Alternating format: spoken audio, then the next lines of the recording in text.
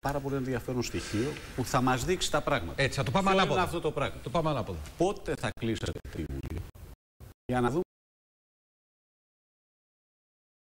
Κοιτάξτε, η Βουλή πέραν της Μεγάλης Τετάρτης το μεσημέρι. Ναι. Ε, και άρα ό,τι να γίνει θα γίνει μέχρι τότε. Η πρόβλεψή μου, η εκτίμησή μου είναι ότι δεν θα είμαστε σε θέση από πλευράς προετοιμασίας ακόμα και αν α, όπως εκτιμώ και ελπίζω ακόμα και αν υπάρχει απόφαση και συμφωνία δεν θα είμαστε σε θέση από πλευράς νομοτεχνικής προετοιμασίας να ψηφιστούν ε, τα μέτρα, τα αντίμετρα και όλο αυτό το πακέτο. Δευτέρα, Τρίτη, Τετάρτη δεν θα χρειαστούν τουλάχιστον τέσσερις μέρες. Δηλαδή δύο δεν θα μέρες, πάνε μετά. Στην δύο καλύτερη μέρες των στις περιπτώσεων- επιτροπές και δύο μέρες στα, στην Ολομέλεια. Άρα δεν το βλέπω Από δεν το την βλέπω. τρίτη του άρα Πάσχα και μετά, μετά. το Πάσχα Στην καλύτερη των περιπτώσεων, λέτε. όχι, εσείς. σας λέω ότι ε, δεν θεωρώ πιθανό ότι πριν να κλείσει η Βουλή θα συζητήσουμε ε, για τη συμφωνία. Άρα από Είστε- αυτό δεν βγάλαμε κάτι. Είστε για- αισιόδοξος Δεν μάθαμε όμως. κάτι. Δηλαδή, γι' αυτό. πείτε μας Είναι όμως. άλλο, είμαι αισιόδοξος ότι θα κλείσει η συμφωνία. Ναι. Πλην όμως, σας επαναλαμβάνω, ακόμα και αυτή τη στιγμή να κλείνει είναι πάρα πολύ δύσκολο να μεταφραστούν σε νομοτεχνικές ε, έτσι, καταστάσεις, άρθρα, Ναι. νόμους και τα λοιπά όλο αυτό το πακέτο και να έρθει έγκαιρα για να συζητηθεί Κύριε- στοιχειοδός και στις επιτροπές πριν από τη Βουλή. Διότι εντάξει είπαμε αλλά μην το παρακάνουμε. Κύριε, κύριε Βούτση, το θέμα είναι το εξής. Ε, ξαναζούμε βεβαίως μια κατάσταση αγωνίας για πάρα πολύ κόσμο. Ε, η, η αξιωματική αντιπολίτευση λέει στην ε, κυβέρνηση ότι οι ιδεολειψίες είναι αυτές που έχουν πάει πίσω όλη αυτή την α, αξιολόγηση και μάλιστα φοβούνται. Ατύχημα. Ε, κύριε Δάρα, οι αγωνίες του κόσμου εύλογες είναι για, για όλο το φάσμα της καθημερινότητάς του και του μέλλοντος του. Παραδείγματος χάρη θα είναι πάρα πολύ σημαντικό τις προσεχείς μέρες και έχει έρθει ήδη στη Βουλή να ψηφίσουμε πριν τη, δια- πριν τη διακοπή και όλα στον εξοδικαστικό συμβασμό για τον οποίο συζητάγατε ε, προηγούμενα. Δεν είναι μόνο για το πώς πηγαίνει και πότε τελειώνει η διαπραγμάτευση ε, πλην όμως οποιαδήποτε καθυστέρηση είναι, ε, οδηγεί σε επιπτώσεις, έχει επιδράσεις στην ε, γενικότερη οικονομία, αυτό είναι σαφές.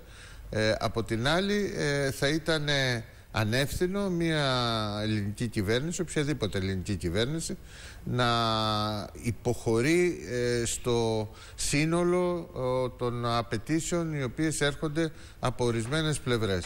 Είμαστε στην ιδιαίτερη φάση όπου έχετε αντιληφθεί ότι τώρα εδώ και τρεις μήνες έχουν έρθει στην επιφάνεια οι μεγάλες διαφορές ανάμεσα στην πολιτική ή στις αντιλήψεις και τις εκτιμήσεις του Διεθνούς Νομισματικού Ταμείου με τους ευρωπαϊκούς θεσμούς και οι μεγάλες διαφορές και μέσα στην ίδια την Ευρωπαϊκή Ένωση ε, για ζητήματα που αφορούν στην στρατηγική της λιτότητας. Βουτσή, για αυτά να μην πρέπει- σας- Να, Υπήρχαν να όμως. δούμε κάτι λίγο. Ή μπαίνουν τώρα. Νομίζω όμως, όχι, κοιτάξτε, υπάρχει το εξής πάρα πολύ αρνητικό, ότι ε, έχουν επανέλθει ζητήματα και γι' αυτό δεν έκλεισε άλλωστε και η αξιολόγηση το Δεκέμβριο που ήταν να κλείσει.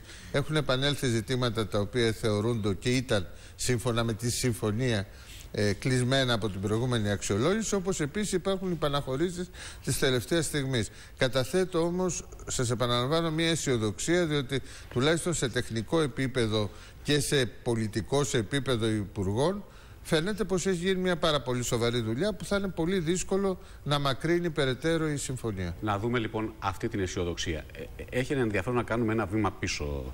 Ε, αν αφήσουμε το πρόεδρος της Βουλής λίγο δίπλα μας και μιλήσει ο Νίκος Βούτσης, ο οποίος υπήρξε γραμματέας έτσι, του Ισεκών Ρήγας Φεραίος. Υπήρξε ένα στέλεχος της Ανατολικής Αριστεράς, του τμήματος της Κομμουνιστικής Αριστεράς.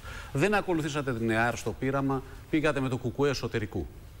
Ανατολική Πώς αριστερά βρεθήκαμε με εδώ τον πέρα; Γιάννη τον Πανιά. Πώς βρεθήκαμε, το Γιάννη τον Πανιά. Πώς βρεθήκατε. Ύστερα εδώ με πέρα; το συνασπισμό Πώς όταν βρεθήκατε έμεινε εδώ πέρα; εκτός ε, Βουλής όλα αυτέ τις δυσκολίες, όλα αυτά τα χρόνια του 3% που κυνηγούσε και Βεβαίως. λοιπά το κόμμα. Πώς βρεθήκαμε εδώ πέρα, Πώς σήμερα, ας πούμε, υπερασπίζεται και βγάζεται αισιοδοξία στο να συμφωνηθεί ένα πράγμα το οποίο είναι δεδομένο ότι καταρχήν θα επιβαρύνει ακόμα περισσότερο τους εργαζόμενους; Κύριε Ζαράκη, είναι σαφές ότι η συμφωνία η οποία θα αφήνει και το πρόγραμμα και την κυβερνητική πολιτική που είναι ευρύτερη του προγράμματος πάνω στις ράγες για να μπορέσουμε μέσα στον 1,5 επόμενο χρόνο η χώρα να έχει βγει στις αγορές και να έχει κλείσει τυπικά τουλάχιστον αλλά και ουσία σε μεγάλο βαθμό. Αυτή η ταλαιπωρία της χώρας ε, με τα μνημόνια και τις επιτηρήσεις μια τέτοια συμφωνία της οποίας τα στοιχεία τα ξέρει ο κόσμος εδώ και δύο χρόνια δεν μπορεί παρά να είναι σε θετική ε, κατεύθυνση. Και τώρα ε, στο πλαίσιο της δεύτερης αξιολόγησης και όταν έρθει θα αποτιμηθεί αυτή η συμφωνία.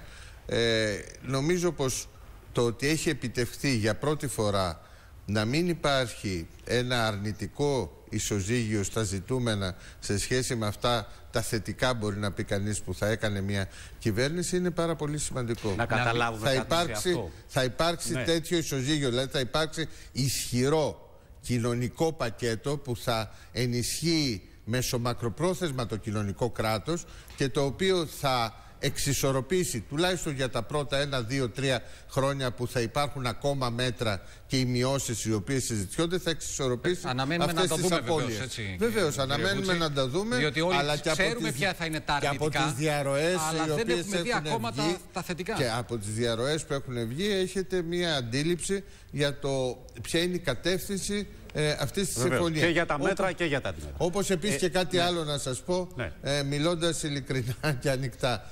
Ε, στο μεγάλο κάδρο θα κρυθεί η τύχη της χώρας και η λήξη της περιπέτειας Ποιο για είναι το μεγάλο κάδρο. Το μεγάλο κάδρο είναι η εξελίξη στην Ευρώπη και οι διεθνείς εξελίξεις. Προσδοκούμε, εκτιμούμε με συμμετοχή της χώρας μας, όχι σε θέση παρατηρητή, ότι θα υπάρξει, ότι ενυπάρχει στην ατζέντα και, στη, και στον εκλογικό κύκλο και στις περαιτέρω διεργασίες μία προϊούσα αλλαγή του συσχετισμού αυτός αυτή η αυτό γιατί σας το λέω. Δηλαδή γιατί η σοσιαλδημοκρατία ξαναπροσεγγίζεται και ελπίζεται. Διότι στο παρελθόν έχουμε μια πείρα πλέον ε, ε, η αριστερά. Έχει μια πείρα από το περασμένο πείραμα. Θα απαντήσω ταυτόχρονα και στις δύο ερωτήσεις. Θα ναι. συνεχίσω το προηγούμενο για να σας πω ναι, ότι ναι. είναι σαφές ότι σε ένα καλύτερο διεθνές και ευρωπαϊκό πλαίσιο η χώρα θα έχει τη δυνατότητα, εφόσον έχει μείνει στις ράγες, επαναλαμβάνω και το πρόγραμμα και η ευρύτερη κοινωνική κυβερνητική πολιτική, να επαναδιαπραγματευτεί και ορισμένα πράγματα. και αντιλαμβάνεστε τι εννοώ. Δηλαδή η προσπάθεια που έχει γίνει ώστε τα μέτρα να πάνε μετά το 20 ή το 19 κτλ. Κατατείνει Είναι σε αυτή την κατεύθυνση, λέτε. Κατατείνει και σε αυτό. Για να απαντήσω σε αυτό που είπατε, πώς μπορεί να ονομάζω ναι. καλή μια συμφωνία, ε, έχοντας προφανώς και ένα αξιακό και ένα προγραμματικό πεδίο όμως. διαφορετικό. Κοιτάξτε τώρα όμως, βάζετε ένα ζήτημα. Για το συσχετισμό δυνάμεων όμως να σας πω. Αμέσως. Γιατί έχει μια. Και για τη σοσιαλδημοκρατία. Από τη μια μεριά λοιπόν βλέπετε ότι θέλω να πάει προς τα πίσω γιατί μπορεί να δημιουργηθεί ένα σκηνικό ή εκτιμάται ότι μπορεί να υπάρξει ένα διαφορετικό σκηνικό στην Ευρώπη. Απ' την άλλη, λέτε ότι εμείς δεν κάνουμε καθυστερήσεις. Τις καθυστερήσεις τις κάνουν οι άλλοι.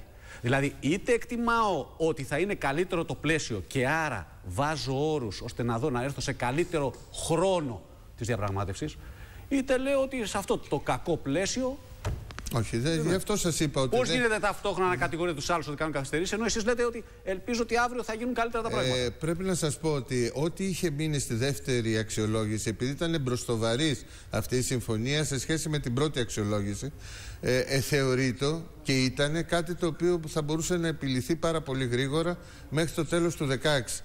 Το ότι υπάρχει καθυστέρηση τώρα επί τρεις και τέσσερις μήνες οφείλεται ακριβώς σε υπαναχωρήσεις και το ότι ήρθαν ξανά στο τραπέζι ζητήματα κέρια, μίζωνα, όπως το ασφαλιστικό και το φορολογικό, τα οποία υποτίθεται ότι είχαν επιληθεί με τους θεσμούς, με απουσία του Διεθνούς Νομισματικού Ταμείου το Μάιο και τον Ιούνιο. Άρα η, η καθυστέρηση ως προς αυτό οφείλεται από εκεί. Η προσπάθεια που γίνεται από πλευράς της ελληνικής κυβέρνησης, που είναι υποχρεωμένη να κάνει αυτή την προσπάθεια. Κατά τη γνώμη μου, οποιαδήποτε κυβέρνηση έπρεπε να κάνει αυτή την προσπάθεια είναι όχι μόνο να υπάρχει μια εξισορρόπηση στα όποια μέτρα ληφθούν στο μέλλον, αλλά να είναι και σε μια διάρκεια χρόνου ναι. που να μπορούν πρώτον κοινωνικά να είναι ε, βιώσιμα, να μπορούν να απορροφηθούν, κυρίως όμως να υπάρχει μια αξιοποίηση του διεθνούς κλίματος και του αναπτυξιακού και του συσχετισμού δυνάμεων, έτσι ώστε να είναι ανοιχτό το ενδεχόμενο επαναδιαπραγμάτευσης. Αυτό είναι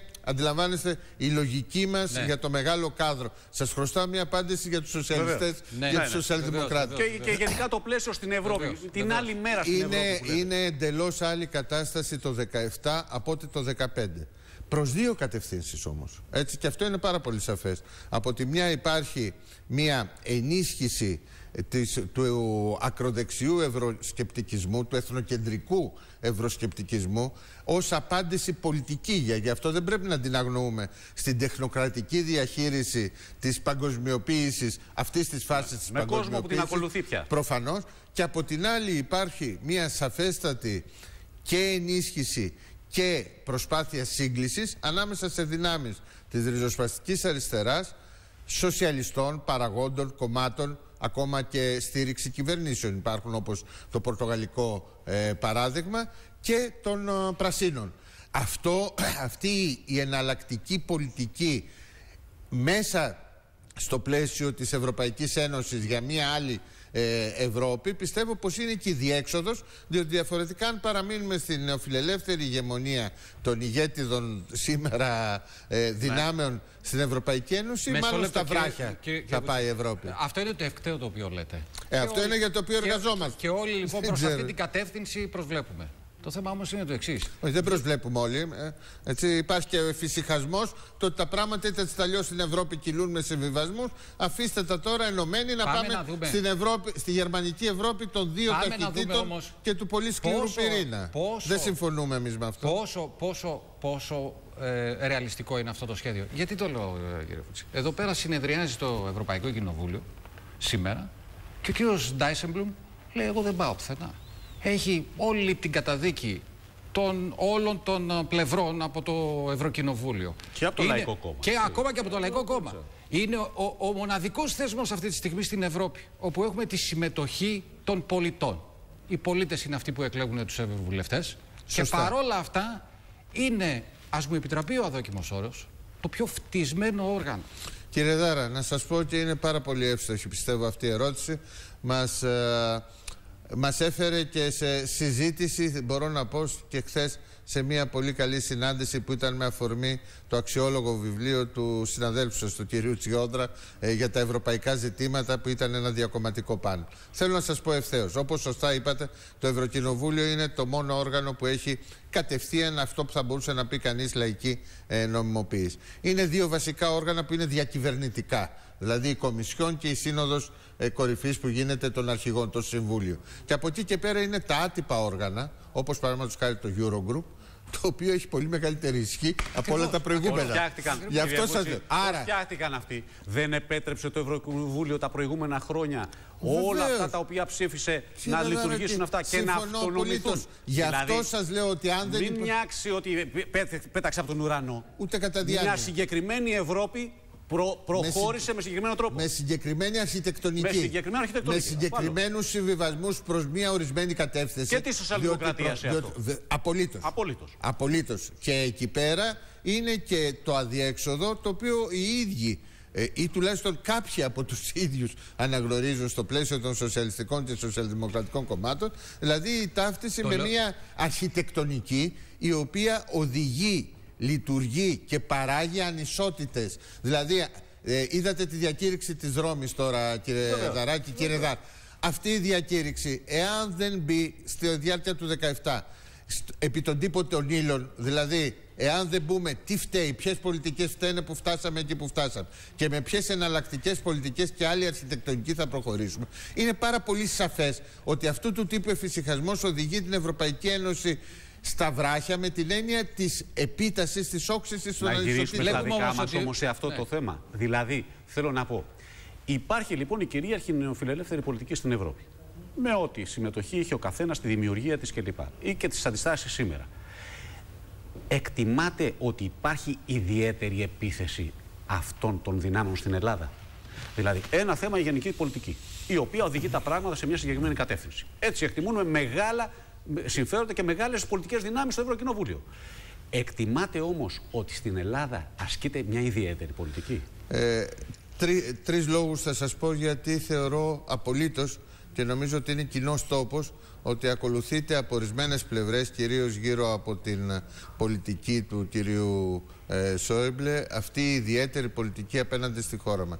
Πρώτος λόγος είναι ότι είμαστε μια μικρή χώρα και οικονομία, παρότι είμαστε μεγάλη χώρα ως προς τη γεωπολιτική, γεωστρατηγική, ιστορική και άλλες σημασίες για το ευρωπαϊκό γίγνεσθε. Δηλαδή δεν αποτολμούν στην Ιταλία, στην Ισπανία που είναι τεράστιες οικονομίες και έχουν τα ίδια προβλήματα ή άλλου τύπου πολύ μεγάλα, όχι μόνο μνημόνια να κάνουν, ναι. αλλά οτιδήποτε. Και κάτω, από, κάτω από το ναι. τραπέζι, κάτω από το τραπέζι προσπαθούν να συντηρούν μια κατάσταση. Ο δεύτερος ιδιαίτερος λόγος είναι προφανές, προφανέστατος πολιτικός. Δηλαδή δεν θα θέλανε ένα υπόδειγμα αριστερής κυβέρνησης, συγκυβέρνησης να μπορεί να υποδειχθεί μεθαύριο σαν μια προσπάθεια που έστω μέσα αποστροφές, συμβιβασμούς κτλ.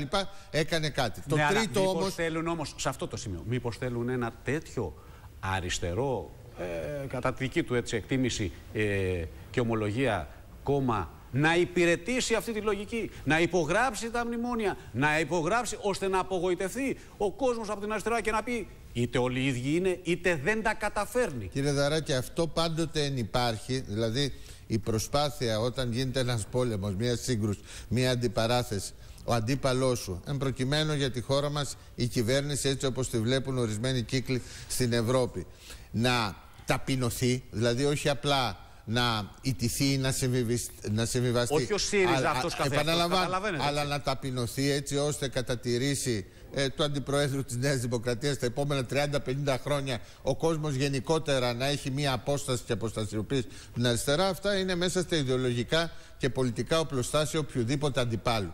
Ε, θέλω να πω ότι είναι ε, τα συμπαραμαρτούντα μια σύγκρουση. Το τρίτο όμως δεν ναι, σας ναι, είπα ναι. που κατά τη γνώμη μου είναι πάρα πολύ σημαντικό. Γιατί ιδιαίτερα προς τη χώρα μου. Θεωρώ ότι αυτό εντάσσεται στο μεγάλο κάδρο. Δηλαδή κάποιοι κύκλοι θέλουν η Ευρώπη όχι απλά να γίνει ε, δύο-τριών ταχυτήτων, ομόκεντρων κύκλων κτλ. αλλά να συναποτελείται σε λίγο από κάποιες πάρα πολύ ισχυρές χώρες ενές η Γερμανία να είναι ο ηγετικός παράγων στο διηνεκές και διαχρονικά και κάποιες ιδιαίτερες οικονομικές ζώνες περί αυτού πρόκειται όπου το σπρώξιμο λοιπόν προς τη χώρα μας και λόγω της Βαλκανικής δείτε Βουλγαρία, Ρουμανία με το ένα πόδι μέσα έτσι, ναι. στη Σερβία τη πρόχνουν για το 24-25 για να μπει. Σας θέλανε πάρα πολύ σε αυτό το σχέδιο το στρατηγικό πια για την Ευρώπη. Στην Ελλάδα να υπάρχει ένα ε, κατεστημένο κοινωνικό ντάμπινγκ από πλευράς εργασιακών συνθήκων, εγγυήσεων, ε, νόμων, ε, εισοδημάτων, συντάξεων και κυρίως αδυναμίας στην παραγωγική ανασυγκρότηση Κύριε... της χώρας. Δηλαδή να είναι μια χώρα και μια οικονομική περιοχή ιδιαίτερη, οικονομική ζώνη, ε, για χαμηλές υπηρεσίες κυρίως, χωρίς δυνατότητες ανάπτυξης στους δύο κύριε, άλλους τομείς. Άρα υπάρχει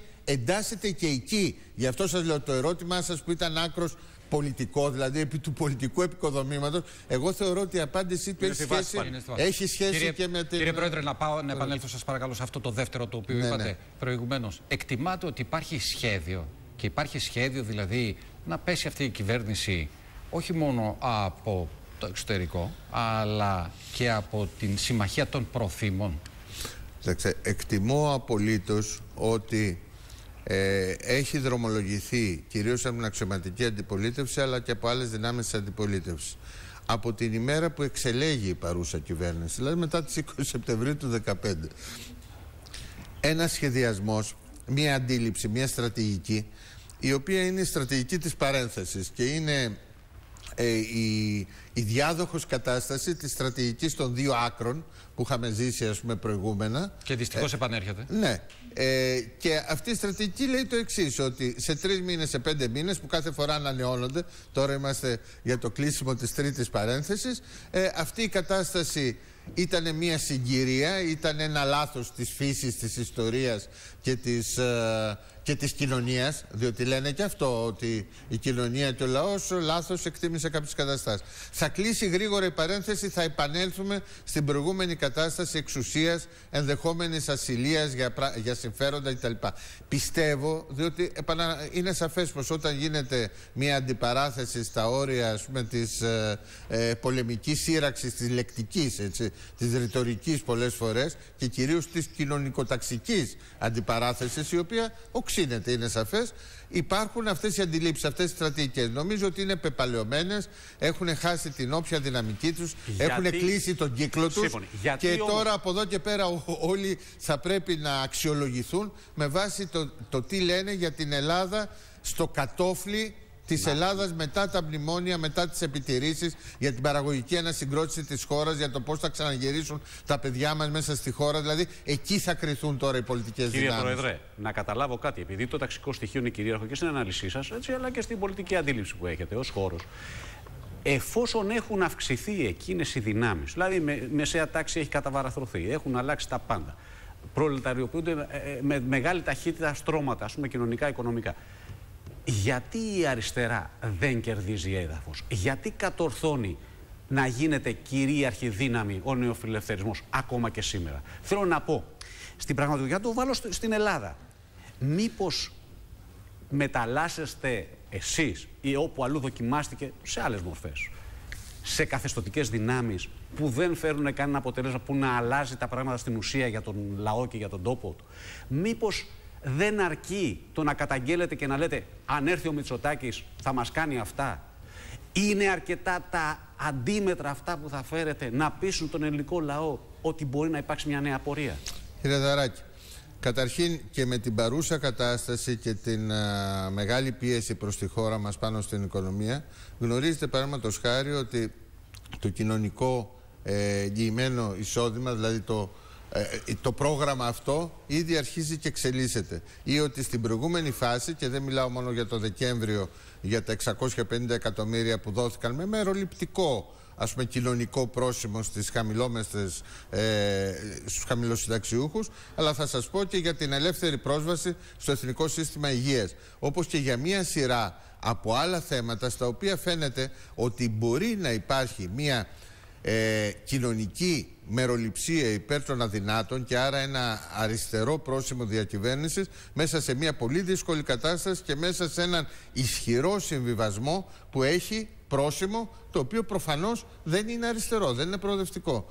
Ε, άρα το δίλημα δεν είναι αν η αριστερά θα βρίσκεται στην εξέδρα ή στα αποδητήρια ή εξαφανισμένη ή εντός περιθωρίου στο Δινεκές ή από την άλλη αν θα είναι μεταλλαγμένη και θα είναι πιόνι της νεοφιλελεύθερης παγκοσμιοποίησης αυτό είναι μια πολύ σχηματική παρουσίαση, δεν την κάνατε εσείς. Σας λέω τώρα πώς πολλές φορές μπαίνει. Το έχουμε και από τον περασμένο αιώνα. Ναι, πολλές φορές έχει εμφανιστεί. Αλλά... Με, τι, με τι αποτελέσματα όμως; Όχι, δηλαδή, επιτρέψτε μου να σας πω ότι ακριβώς το δίλημα δεν είναι αυτό. Ναι, ναι.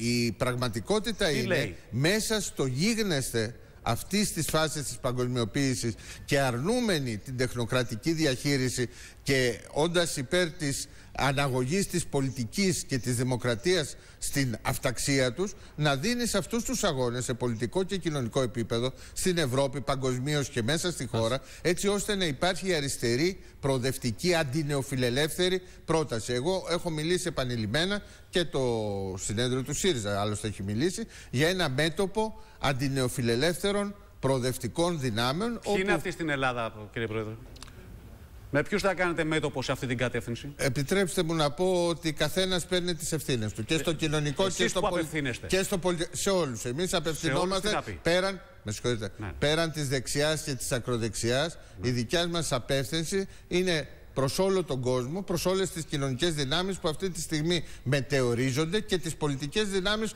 που έχουν τις εσωτερικές τους διεργασίες που οδηγούνται κάποιες εξ αυτών, παραδείγματος χάρη, στην, στο σχήμα αντισύριζα ε, μέτωπο το οποίο θέλει να διαμορφώσει από την πλευρά του ευλόγος ίσως ο κύριος Μητσοτάκης. Εμείς είμαστε ανοιχτοί, απευθυνόμαστε αλλά στη βάση ακριβώς του προοδευτικού προσήμου και του αντινοφιλελεύθερου Περιλαμβάνεται σαν ανέλα αυτό το πράγμα. Δηλαδή μήπως είναι μια εποχή, βάλαν και αυτή τη σκέψη στο συνέδριό σας, μήπως είναι μια εποχή επαναπροσδιορισμού των συνεργασιών; Θα είμαι πάρα πολύ σαφής κύριε Δαράκη. Η προσπάθεια που έχει γίνει εδώ και δύο χρόνια ε, τη συμμετοχή στην κυβέρνηση ε, και τον ΑΝΕΛ στη βάση της συμφωνίας στις προγραμματικές δηλώσεις που δύο διαδοχικές κυβερνήσεις παρουσίασαν στη Βουλή. Διότι αυτή είναι η συμφωνία επί των προγραμματικών δηλώσεων. Δεν υπάρχει ούτε κάποιο προφανώς ιδεολογικό δεν θα μπορούσε να υπάρχει, αλλά και προγραμματικό γενικότερο ντοκουμέντο. Αυτή η προσπάθεια εδραζόταν και εδράζεται σε, στην, στο αντιμνημονιακό φύτρο των αγώνων και των απόψεων όλης της προηγούμενης φάσης. Και ως εκ τούτου είναι μια πολύτιμη παρακαταθήκη για συμμετοχή και στο μέλλον σε ευρύτερες προσπάθειες. Καθένας βεβαίως θα κριθεί Όλοι μας κρινόμαστε και με τη λήξη αυτής της περίοδου, δηλαδή μέχρι το 19 και κάθε κόμμα θα κάνει αυτό που λένε τα κουμάντα του. Αλλά δεν, ναι. αλλά δεν θα απέκλεια, επαναλαμβάνω, ναι. σε αυτό που λέμε αντινεοφιλελεύθερο, προοδευτικό μέτωπος στην Ευρώπη που θα πρέπει να αντανακλαστεί και να αντιστοιχηθεί και στην Ελλάδα, ναι. δεν θα απέκλεια συμμετοχή κοινωνικών και πολιτικών δυνάμεων που έρχονται, ε, παραδείγματος χάρη, από τις μήτρες της λαϊκής, ε, δημοκρατικής, αντιμνημονιακής δεξιάς κτλ. Δεν θα μπορούσαμε να το αποκλείσουμε αυτό. Ναι. Διότι επί, σε τέσσερις διαδοχικές, παραδείγματο χάρη, εκλογικές ναι. μάχες και ναι. στο δημοψήφισμα, τέτοιες δυνάμεις έχουν μετακινηθεί σε πιο προοδευτικές απόψεις. Και θα ήταν λάθος, θα ήταν Μνημονιακό, αντιμνημονιακό λοιπόν είναι το ερώτημα που βάζει ο ΣΥΡΙΖΑ για την επόμενη περίοδο. Γιατί είδα και την εκτίμησή σα, επιτρέψτε μου, είδα και την εκτίμησή σας ότι έχει μεγάλο ενδιαφέρον για αντιμνημονιακές δυνάμεις για τη μεταμνημόνιο εποχή να μπολιάσουν, αυτό. να, αυτό να μπολιάσουν το, το αντινεοφιλελεύθερο προοδευτικό μέτωπο. Είναι προφανές ότι από Αντιμνημονιακή ότι... όμως άκρα δεξιά, δεν είναι έτσι. Κύριε Δαράκη, τουλάχιστον ισχυρίζεται. Εμείς, δεν ε, φλερτάραμε ποτέ όχι, με, με, μια τέτοια Λέω ενότητα. ότι δεν είναι καθαρό ως Ποτέ δεν είπα. Εμείς ναι. δεν λέμε και εγώ δεν είπα ποτέ και ούτε σας λέω εδώ και ούτε είπα προηγούμενα ότι το αντιμνημονιακό θα είναι το κυρίαρχο στοιχείο στην προσεχή ε, φάση ή και τώρα. Και το βλέπετε, δηλαδή παραδείγματο χάρη τώρα είναι το παλιό έναντι του καινούριου ή το νέο έναντι του παλιού. Η προσπάθεια που γίνεται και ανοίγουν μέσω εξεταστικών επιτροπών πολύ σοβαρά ζητήματα που αφορούν στο πώς έφτασε η χώρα στη χρεοκοπία αφορά το παλαιό πολιτικό σύστημα. Δεν είναι το μη μνημονιακή, αντιμνημονιακή, ούτε νεοφιλελεύθερη, αντινεοφιλελεύθερη. Το μέλλον θα είναι στο νεοφιλελευθερισμός, αντινεοφιλελευθερισμός στην Ευρώπη και στην Ελλάδα. Εκεί είναι. Το ποιες δυνάμεις θα μεταγγιστούν, θα μπολιάσουν ή θα συμμετάσχουν σε αυτό το μέλλον, σε αυτή την προοπτική, είναι ζήτημα και των ίδιων δυνάμεων αλλά και της κοινωνίας, αν θα τις ενθαρρύνει ή όχι. Αυτές οι δυνάμεις είναι και εκτός κομμάτων ή συμπεριλαμβάνει; Για παράδειγμα, η Δημοκρατική Συμπαράταξη είναι ένα από τα κόμματα τα οποία απευθύνεστε; Είπατε εκτός κομμάτων. Ε, είναι... όχι, όχι, εννοώ ότι δυνάμεις δυνάμεις που είναι, ε, δεν είναι ενταγμένες μέσα τα σε κόμματα. Τα δηλαδή... Κύριε Δάρα, τα ερωτήματα τα οποία έχουν τεθεί στην Ευρώπη προς απάντηση μέσα στο 17 και στην Ελλάδα λόγω της φάσης που Μάλιστα. βρισκόμαστε είναι αμήλικτα και όλοι θα πρέπει Μάλιστα. να τοποθετηθούν. Λοιπόν, είναι πάρα πολύ ενδιαφέρουσα η κουβέντα. Μακάρι να έχουμε την ευκαιρία και πάλι να ξέρουμε πόση δουλειά έχετε. Σας ευχαριστούμε, πάρα, πολύ. πάρα πολύ που ήσασταν Εγώ σας ευχαριστώ και σας εύχομαι ό,τι καλύτερο. Να είστε καλά. Να είστε καλά. Ευχαριστούμε. Λοιπόν, πάμε σε ένα σύντομο διάλειμμα.